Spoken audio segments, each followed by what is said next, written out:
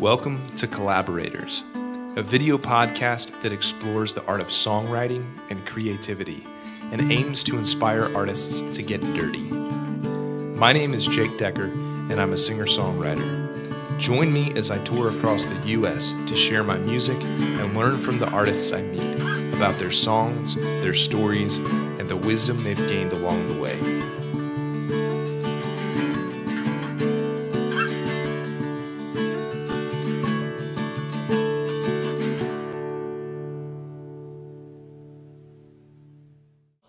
So, tell me a little bit about um, about your writing process, if there even is one, um, and like how you kind of prepare yourself for writing.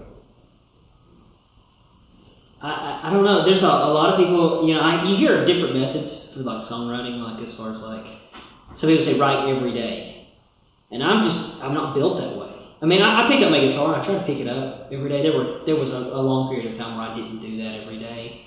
Um, at least pick it up and try to find something, but I get into ruts where I play the same chord progressions over and over, or I, I have music that I've already written and there's nothing to it. And um, but I look back and listen to some of the stuff I wrote years ago before I signed a publishing deal. Really kind of started trying to write marketable stuff, which I'm horrible at. Uh, but I, uh, I'm like, where did that music come from? And I think like, it was because there was no pressure. It was just like, this, this is for me. But uh, for me, the like the pro- songwriting process really starts with just like an idea. Sometimes it will start with a melody. Uh, usually, it's it's like a one word title or an idea or something. I'll sit on and I'm thinking, well, what does this mean? And uh, a lot of the stuff that I've been writing for the past, let's say, five or six years is just like kind of like your throwback to John Denver or some stuff like that, where it's basically it's very story based. So you have a definitive starting point, middle, and then there's some type of resolution. At least for the most part, there's a resolution in the song. And so, um, for me, it was always where do I start that? Where do I start the story at? How do I, you know, um, trying to think like some of the songs will have a definitive character. So for me, it was less about me as a songwriter, and it was getting you invested in the character in the song, which to me is a huge thing because. Um, I, I guess that's what my starting point is. I've got to find a person or some type of central figure that people can relate to, and this is their crisis or whatever, and this is you know kind of where they're sitting at the overall theme of it, and then this is kind of where we're sitting at as a resolution. And there's always some type of I always say I write on the 75-25 rule. So 75% of the song is to get you interested in the story and invested in the character. The 25% is slipping in some type of a moral in there. Some type of an overall underlying theme. Like I've got a song that's about the California Gold Rush. And uh, so, so the, the, way the song is, it's about this guy, and he goes out, and uh, you know, they, they move out to California, and they, you know, they they you know find some land or whatever, and they, you know, start they dig a mine or whatever, and then the, the chorus is, you know, there's, you know, there's there's diamonds in the dirt, there's treasure in the hills, and it says just like every one of us, we're all the same but different still. You know, you peel away the you know the grime and you'll find the gold inside. And so it takes that real story, that event, and it parlays it over into you know this existential thing. You know, where it's basically like it's it's sometimes it's tough to find the really good things in somebody who's not really a good person that you see, sometimes it takes a little bit longer to find that gold or that treasure under them. So for me, it was here's and, and even when I was writing that specific song, and that's crude example, but even for me when I was writing that song, I didn't get to that nugget. That's not a pun. I didn't get it's not an intentional pun. I didn't get to that nugget until I was writing the chorus. I was like, oh, so this is what that song is about. I'm, I'm more now into the, the collaborating with other songwriters as far as co-writing. Um, it's hard to find songwriters, and everybody has their own thing that they do as a songwriter. For me, I'm a lyric guy. I feel like that's my best quality. I'm not necessarily a huge melody guy. I'm typically like C, G, and D, maybe some chord that I don't know what it is. It's a root of an F or something like that. But um, uh, for me, it's working the lyric, and I've been there's a guy that lives here in town. Him and his wife travel. Um, a lot, and so they have been living in Chattanooga for a couple years. And uh, he and I, probably about a year ago, I had heard him. I, I used to host um, a, a, songwriter competition, kind of like what ADO does down in, in, in Duluth. It, we call it the Songwriter Shootout. And so very original. So uh, so anyway, so he they he and his wife had just moved to, to Chattanooga, and I had heard his some of the songwriting, and I was just blown away because he was an actual wordsmith. I was like, this guy really, I can tell he spends a lot of time. He puts in the work. He spends the time, and so he and I, uh, with another guy, a, friend of ours, I kind of sat in. They had started a song, and I sat in with them, and they uh, had already started writing a song. And so the next day, he and I had coffee. They were driving back from Nashville, and so we had coffee. He's like, "Hey, you want to go back to the apartment?" They just a stone's throw from the coffee shop. So we went over to the apartment. He says, "We can song swap." Well, the other guy shows up, you know, at the coffee shop. So we all three go back there, and I ended up helping them, you know, with the song. It was kind of like the first three-way co-write I'd ever had. I was like, okay, that's that's a that's pretty cool. And um, and so he and I scheduled some time, probably back in May, because I knew we had some of the same sensibilities when it came to how we worked song, how we worked lyric. And when we got together, I didn't realize, I, I for the longest thought, am I the only one that doesn't do this brainstorming thing? And then I write lyric, and then we have a, a you know, TA throwaway line at the end of a line, and then we move to the chorus and move as quick as we can. And he's doing the same thing I do when it comes to songwriting. I was like, this is fantastic. There's someone who works the same way I do, and it's just something I've just have done over the course of the you know the years I've been writing is figuring out what my niche what my niche was as far as and how I worked lyric and worked songs, and I think when it really was like I found a, a good co-writer was he said um, something I said you want to go to the course? He goes no I like to work the lyric one lyric at a time. I like to work a verse at a time and, and edit those down and then we go to the next and next.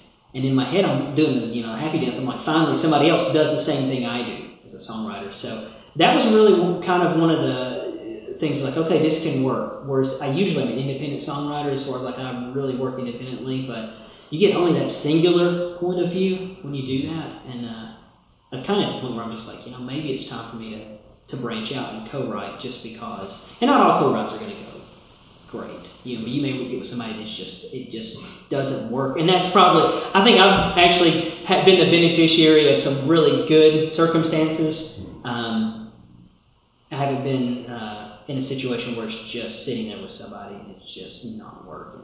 With the last record I did uh, before the Bright Lights, it's kind of like it was funny because a lot of the songs have been around for a while, and uh, I would I'd have these ideas and they all kind of just kind of formed. I have other songs that are not necessarily like that, but for me it was always easier to remove myself from the story because it was less intrusive, which is not a good thing because if you're a songwriter, you're supposed to be able to open your soul up and just bear it all.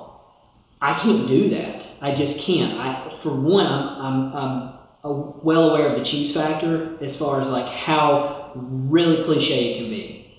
And I listen to guys like Dave Ramirez, and, and I'm just like, how do you just bare your soul? But he's probably tortured. I mean, it's just like that's just the truth. Is as a songwriter, I mean, if you're really uh, there's only I can say there's only two songs that I that I currently have in a catalog that I will play that are super personal to me, and it's hard for me to play those songs because I'm like my mind goes somewhere else. I, am just gonna lose it. I'm just I'm just gonna lose it in the song. Whereas if I play these other songs that are about other characters, they have a little bit of me in those songs, but it's not about something personal to me, like you know a fight I had my wife or you know my kids are acting like hellions or something crazy like that. I can sing those songs. They still have that. I still feel those, and they mean so much to me. But I'm not so much into them that I'm just going to lose it on stage. See, that's the thing. It's it's for me. It's I'm such a lyrics guy. It has to be a good lyricist. It's got to be a good. One of the guys that I'm telling you hands down, if you've never heard of Andy Gullahorn. He's a songwriter out of Nashville, and this guy writes songs, and within three minutes, I'm not kidding, he takes you from laughing to tears. Like, just like the subtle reality of what the song is about. And how did I not write that? You know, it's it's those things, but the guy's been doing it for years, um, and he is probably hands down he's my favorite songwriter right now because he writes songs that are so accessible and so real. The way he writes his songs are very. There's a natural progression to all of them, but it's just it's probably some of the richest lyrics as far as it's not Chesterton or anything like that. It's not you know C.S. Lewis. It's not that heady stuff, but it is so heady that it's just like the gravity of it. Just I remember I was like reduced to tears. I was driving around. I was like, how you know? And you can't copy that stuff. You can't copy that stuff. That's like he has cornered the market on something that I don't want to try to duplicate because it's it's so unique and beautiful that I don't want to duplicate that. I want to enjoy that for what it is. And I think what happens to a lot of songwriters is they latch onto Dylan or they latch onto other songwriters and they try to write Dylan-esque lyrics or they try to write and they don't find their own voice. I remember years ago Dave Matthews was huge and he had these certain ways he would write these lyrics. And I go on these message boards when the internet was very infantile uh, and, and, and it just kind of had just started booming. You could see these forums and stuff like that, these chat rooms or these message boards. And these people would post their lyrics, and they're direct rip-offs of Dave Matthews. Hey, I wrote this song, and it's all the same wording and phrasing that Dave Matthews. is I'm like, and that used to make me mad. And I had just started doing music. I just started writing songs. I didn't know a lot of things I know now about songwriting. Um, and I'm thinking, even I could tell that was a really, really bad attempt to write something. And I'm thinking, find your own voice. You have your own thoughts. You can find your own voice. But even then, it was kind of like I didn't realize at that point, you know, how hard it is to be an individual when you're writing songs. And a lot of that just comes from doing it. Tell me what you do at the Songwriters Association. Okay, so probably about, uh, I'll go back to the beginning. In 2011 or 12, I kind of, there wasn't anywhere to play. Chattanooga's kind of grown a lot now in the past five, six years where there are more opportunities to play. But there really wasn't any opportunity to play anywhere. And I was there was an article on the local in the local paper here in, in town, and they, there was a songwriters association that started, and they were actually taking applications. They had like three or four like songwriters nights. They were kind of like miniature songwriter rounds in different uh, venues in the area. So I just filled out an application to do that, and um, I ended up playing my first writers night. I think it was like November of 2011 or 12 I think it was. I think it was 2011. And um, I ended up becoming friends with the, the gentleman that was over the Songwriters Association. And um, and uh, ended up, he ended up, and probably about May of 2013, right around that time, he ended up stepping down and asked me if I would take over. So when I took over, um, for me, the biggest thing was the things that I had grown from in the last two years being kind of hanging out in the association was that community aspect. And so what when I came into you know leadership role, it was what are the things that are most important to me, which is writing songs that I'm proud of, because that's where I was at. I was at that point where I finally was like, you know, I've been doing this for almost for over 10 years, and I'm just at the point now where I'm writing songs that I'm like, I'll go play those songs for somebody. Uh, and I was really proud of those songs. And so that was, has been the goal the whole time now is just, you know, finding songwriters that are, you know, and just encouraging them. That was the big thing with the CSA was, and it's now that's, you know, our, at least for me, that's the vision for the CSA is being a resource hub for other songwriters.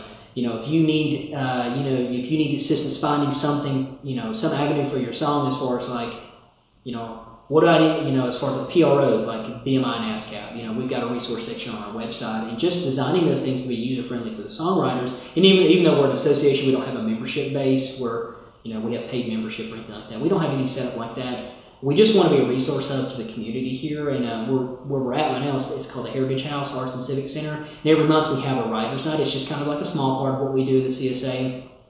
It's kind of like a miniature house concert series where the city sponsors it, so nobody has to pay. It's free admission. It's in the middle of Heritage Park out here in East Brainerd. And um, I have a board of directors. I have about five or six board of directors, and each one of them are independent songwriters. And so they host every month. We all kind of host, and they'll bring in people, you know, songwriters, or we'll have you know some songwriters that are you know on standby, and uh, we bring them in to have them you know play. And uh, the city's been wonderful about supporting us. This is makes our, I think, our fifth year we've been doing it here, fourth or fifth year that we've been doing it here at the Heritage House, and um, it's the only place we have an event, um, and it may not, it may be the only place we do for a while, just because the focus. We uh, really want to make sure that the focus is on the teaching aspect and the educational resources that we can offer, and we're trying to build that, and hopefully partner with some other organizations in the area just to kind of make sure that you know where there's a need that we're at least trying to fill that need. Uh, we're not going to critique people's songs or anything like that. You know, we're just we're here as an encouragement center for you. If you're a songwriter and, and you know you're like, I want to know, I want to get my songs critiqued. Well, we'll try to find a place to, for you to send your songs so you can get those songs critiqued and get that growth and development you want uh, that you need. So uh, a friend of mine, his name's Tom Payton, and uh, here's an example of of endurance in songwriting. So a really good friend of mine, his name's Tom Payton. He used to write for Reba McEntire. He's one of the, the first songwriters she had on the publishing label I had a, I had a song I was working on about a year ago in March, and uh, I sent him I sent him like a rough work tape of said, you know, what do you think about this? And the song was titled "I Wish That I Was Him." It's probably one of the most personal songs I've ever written. And he uh, usually he'll email me back and say, you know, that's great, or you know, I've got some ideas. And he just called me, and it's not like him to ever just call me. So he calls me and he was like, leaves a message. Goes, and all he said was, "You got a song." So I call him back and we're talking. He says, You got a great song. He goes, Don't screw it up. And of course, I'm petrified at that point because I'm like, Okay, uh, you know. And he said, Because if you finish this and it's a good song, he goes, I think if, if you can get this right, he goes, Somebody's going to cut the songs. Of course, my mind shifts to getting a song cut and not finishing the song. So I put it down for like a year and didn't touch it. And I was petrified to do it because I was like, you know, what if I mess this up? What if I screw this up? And I finally, after about a year, and this was March of last year, so March or April this year, I was like, I gotta finish it. So I sat down and just put in put in the work on it. And I had been very lazy in doing that with other songs, and I think it got to the point where I was such a perfectionist about it that I was afraid. I was afraid to write anything because I don't want to waste good music on really crappy lyrics. And I don't know if you're ever like that or not. If you get a really nice piece of music, you're like, I don't want to screw this up. You know, this is yeah. so good. I don't want to have to repurpose because I have the hardest repurposing melodies. Mm-hmm. It's like once once the lyric is written for this melody, that's it. They're they're married to forever. You know, mm-hmm. they're they're growing old together. They're not going to do that. And there's some songwriters like, you know, I just repurpose the music. I'm like, how do you do that? But I finished that song and uh, I played it a couple times, and and even if it doesn't get, I had to get past that point to where I was like, you know, even if it doesn't cut, this is something that I need to write for me. This is therapy for me, which I don't have a lot of those where I'm like, this is therapy for me. Um, but this one was like, this is something I gotta say. I've only had a couple of those where I'm like, this is something I gotta say. Um, and it doesn't come across as just bad, just cliche, just bad. Because if you've ever been, listened to songs that are like that, you know, you, you, get up there and you're like, I know what's coming next. I just, I just know what's coming next. What advice would you give a new songwriter? Listen to other songwriters, especially ones that are seasoned. Now, I don't, you know, I think, and I was telling a friend of mine, I think every songwriter has something to offer. You know, uh, you know, whether you're new or old, there's different perspectives in your journey as a songwriter. But I would say, you know, be be slow, you know, slow to dismiss things. You know, chew on those things and, and listen to other songwriters, especially ones that have been doing it for a while, because they may have a perspective. Don't be scared to co-write. You know, you can be selective. You know, just in anything you can in your life, you can be selective with who you hang out with or whatever. But you know, if somebody's a good hang, if somebody's a cool hang, you know, as far as like if you you can go and just hang out with somebody, you don't have to do music, but they actually are a songwriter. That's probably going to be a, a really good indicator that you're going to probably have a good co-writing relationship. Um, also, writers try to write a lot of songs, and I'm a horrible I'm horrible advice on that, so I'm just going to be straight up here. Try to write a lot of songs, that way they become less like your children. So when somebody says something bad about your song, it doesn't hurt as much. it's the truth, though, because what happens, and I, I can attest to that because I remember writing songs and somebody wouldn't necessarily care for it, and it would feel like somebody was just, just right in the back, just stabbed right in the back. And then I, as I got to the point where I was writing songs, and I said something earlier, I had a friend of mine say, How do you write? What something do you think is a good, uh, is a good key to writing songs? And I said, Take yourself out of the song if you can. Take yourself out of the song. And that may mean if you are going through something that's just really taxing, give it some time before you try to write. Don't try to write when you're in that moment get you get to the point where you're you, you've healed It's you know, if it's a breakup, a divorce, you know, a death of someone. Try not to write it at that specific time. Give it some time so you can actually feel like you're stepping out of that, and it's kind of like you're you're giving a third person perspective. Um, if you can do that, um, that's a good that's a good thing because then you're able to be unbiased when you write the song. Um, also, a big thing songwriters say: if you have a character in your story, write them in a good perspective, a good light. You know, don't write your you know you want people to like the character in your song. You know, the main character. They're you know Carrie Underwood's song. You know, before he cheats or next time he cheats or whatever when he cheats. I don't know that song. It's I just remember Louisville Slugger. So anyway, uh, but you know she paints herself as the victim, and then there's a bad, there's a villain in the song. It's that guy. And so you know those are some different perspectives. But you know everybody wants to relate to the character, and nobody wants to relate to someone who just bashes themselves. That's you know. I won- I wonder if it's different for, for different songwriters because I feel like one of the best songs that I've, I've written was when I was in the midst of it. Really, Yeah. Um, then just I- axe that last thing I said. yeah. I'm sorry. Yeah, no, no, that, that's okay. That's one of the cool things about this podcast. Um, I'll say it, it's never worked for me, and I, and I should I should have prefaced it that way. It's never worked for me. Yeah, that's the thing. It's like it's it's cool to get different perspectives from from different musicians. You know, Yeah. it might not work for you. Um, I know it's worked for me at least once. Yeah, Um, but I, I, I, I will say, I, I think that I wasn't able to like polish it and finish it off until I was in a place where I Okay. was okay with it. Yeah. You know, but the emotion, Yeah. I feel like was captured better because I was in the midst. Yeah, Of it. yeah. Um, the big, the bulk of the song. Um, but no, that's good. Now don't take it back. don't take it back because I mean there might be a songwriter Yeah. this.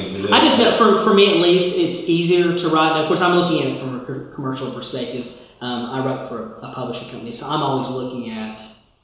Um, I'm looking at marketability. Mm. That's not my main focus because that'll drive me nuts. Because what's marketable now is not going to be marketable in 30 minutes, probably. So you know, that's you know, if you're trying to write, and I did that. I tried to. Um, I tried to at one time, and I was miserable. I was so miserable. And again, if it's your job, if that's what you do every day, you, that's what you're doing. But for me, it didn't work. And luckily, you know, the publishing deal I have is, is I'm a staff writer, but it's not my full time job. So it's not something I'm like going into a writer's room every day and be like eight hours in just trying to write as much as I can. Right. Um, I can kind of be a little bit more selective about the co-writes and stuff and, and work it into the schedule I have. And it seems more, it, for me at least, it's a little bit more relaxing. I don't feel like I've got to make it work. I don't have to have 12 individual writes by the end of the year and have them demoed and everything. You know, I have a lot of blacks. I'm very, have a lot of leeway, which is really good for me. Um, but I don't, I, for me, it, it was, for me, there will be a lot of unhealthy language and it came out in the song. If I if I if I were to write it in that moment and just be like I'm done, because that's what a lot of songwriters do. They're angry, they're upset about something or whatever they feel a certain way, and they'll write the song and then they're done. And that's why that's why I try to tell people teach them edit your songs. Go back and edit your song. You know, if you're someone who can write a, a masterpiece in 45 minutes, and there are some people that can do that. I'm not one of those guys. For me, it's healthy to go back and edit just because you're getting the, the cadence, you're getting the rhythm of the song, you're getting a lot of that stuff. You're tying up those loose ends. My friend Drakeford says you're sanding down the edges, Mm. and uh, so that's that's at least for me. But some people do better when they're in the middle of you know heartbreak or, or a specific situation just to get it out, and then they're done with it. And you know they're Ryan Adams, and they write really great songs. I think some of my favorite songwriters are the ones that make you feel less alone. Mm. I think that's probably one of my one of my.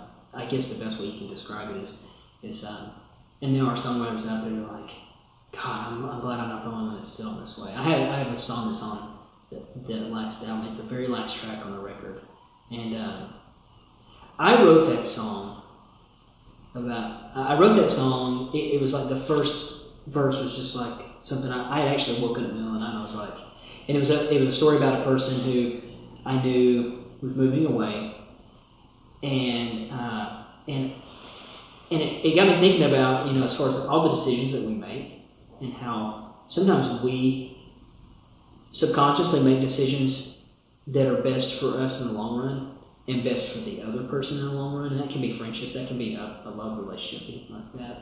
And uh, it was like it's it's called sunbirds, and um, it was like you know some birds are meant to cage and some are meant you know to fly away. I don't think anybody's meant to cage, and and it was like you know what, possibly you know the choice was mine to free the bird before it settled for the cage.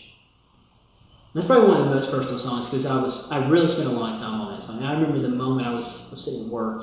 I used to work literally eight hours a day. I think that was something I missed. I'd have my notepad up on my computer and just work lyric, and I would. Mm, and I remember them. I was sitting at work and I was stuck. I was like, "Where? What am I trying to say here? I know what I want to say, but how, how am I supposed to say this?" And I remember when it hit me, it was like that somebody just dumped cold water on me.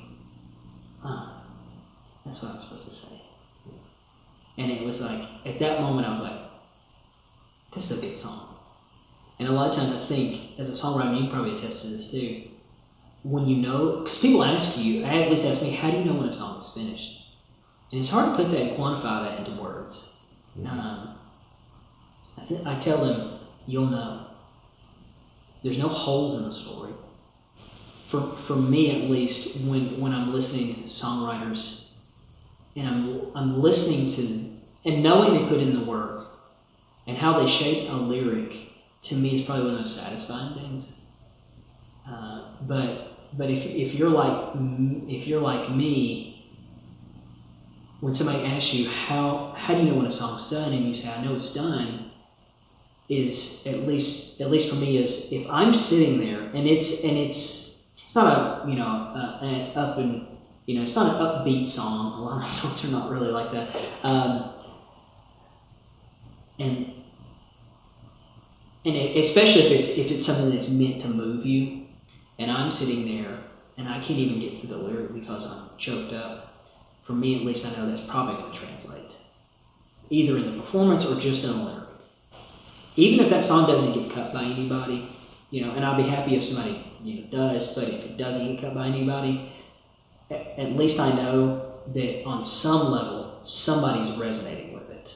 It's it's hitting somebody, and I think most songs that you hear that are standards or things, they're resonating with somebody. Um, and, and for, for me, that's the thing with any artist is, is are you are you doing records? Are you making records that are just you got a couple singles and then you got a lot of filler? Or are you making your records with the intention to make every sing, every every single song count? You know, I've got songs that I put on this last record because I'm like, I don't think they fit this record. I don't know if I'll put them on another record.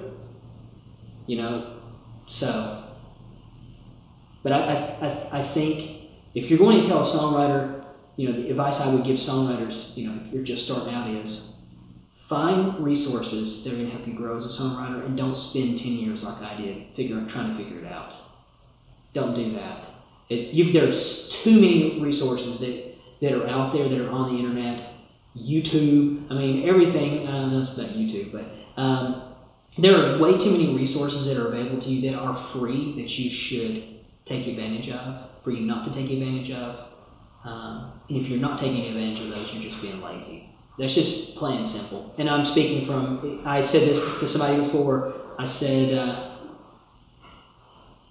I am more apt to lay on my couch and eat a box of donuts than pick up my guitar that's across the room and work on lyrics.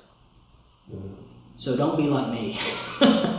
you know, don't be afraid to work lyric, you know, and, and grow and grow your vocabulary and, and do the things that you do the things and do the work necessary so you know like the ant you're not starving during the winter time do the work during the summertime you know and then you're the ant that gets to eat during the wintertime and you're not was it the grasshopper there's that story the grasshopper yeah. played all summer and then starved during yeah. the wintertime yeah. so anyway tell me about a song that you that you had to fight to write something that you were just mulling over for a long time, and how did you bring it full circle if you if you have one that comes to mind? Uh, oh yeah, it's the one I mentioned. uh, that I sat on for like a year. So, so, and I can break down the song. It's hard. It's hard because I know what's going on up here, but it is so hard to verbalize that. So I'll just walk you through basically.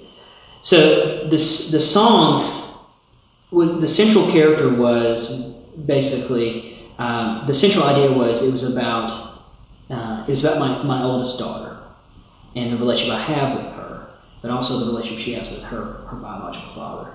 And so the way the story is set up um, was I had the first verse and the second verse, because the way I would pair it would basically be like a, a verse, verse, then chorus, verse, bridge, and chorus.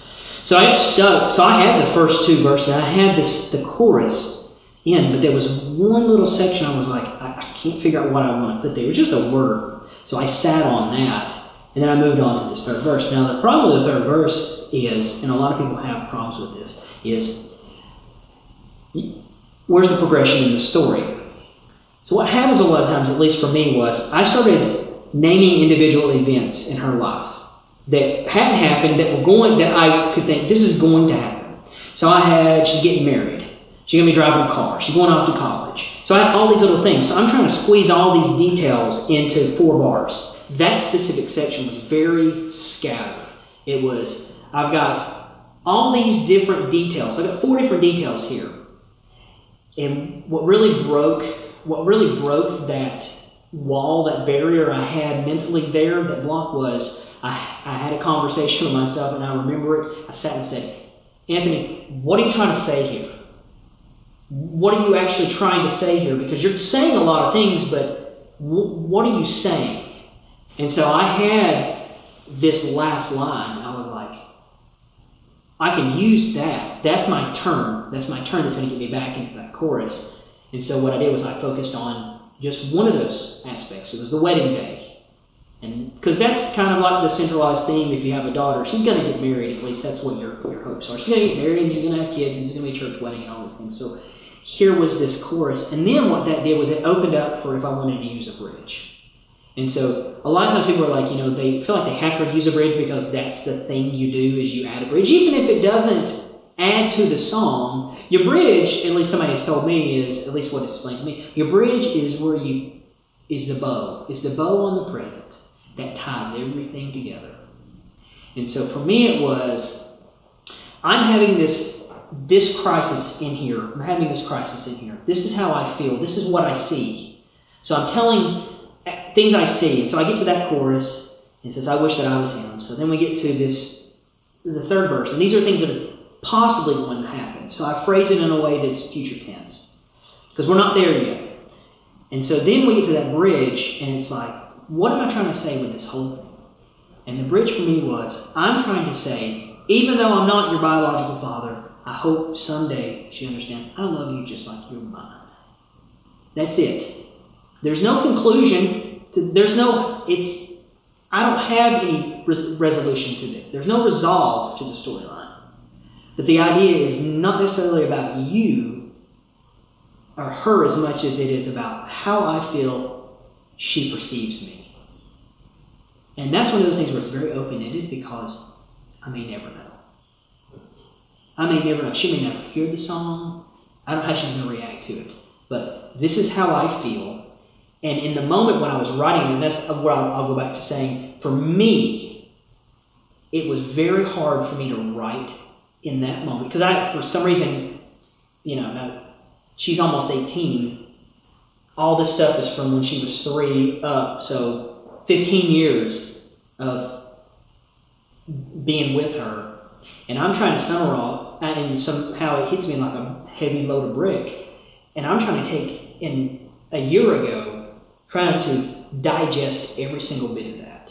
So in that moment, I couldn't digest it. There was just way too much. So it literally took me a year to digest, step away from it, go back to it, step away from it. It was kind of like I couldn't dance with that at that moment. There was no way I could dance in that dance at, at that moment. So I had to step away, learn how to dance a little bit better, so I could go back into it and acclimate myself to the song. And so when I finally got to the point where I was like, okay, let's give this another shot. Let's look at the perspective. I was able to look at it in a different perspective and not be afraid.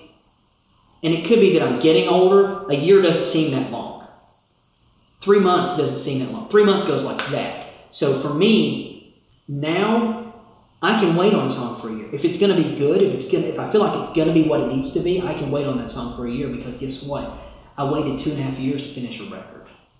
It took me two and a half years to finish this last record. It didn't seem like two and a half years. And now we're a year removed from that, and it doesn't seem like a year. So my perspective on time has changed to where I'm not afraid to sit on something for a year if it's worth it. So that was that was that natural progression in, into writing that song was fighting for those lyrics and asking myself the tough question, which was, what are you trying to say here? And at that point, it was um, when I got to the point where I was able to finish it. Then I send it to uh, some people that I respect, and one of the guys was like, "That's it, that's it." And and so for me, that was solidifying. Okay, we're done with this you know, and then it was time to go. Okay, let's go play it, you know, and see how is how you know what the response is.